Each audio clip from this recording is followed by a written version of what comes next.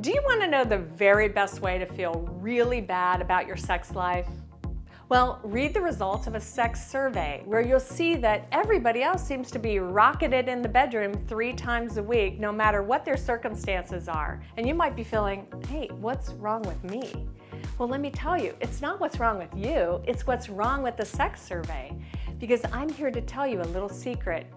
When it comes to sex surveys, people lie. That's right, they lie. They don't want to feel inadequate even on an anonymous survey.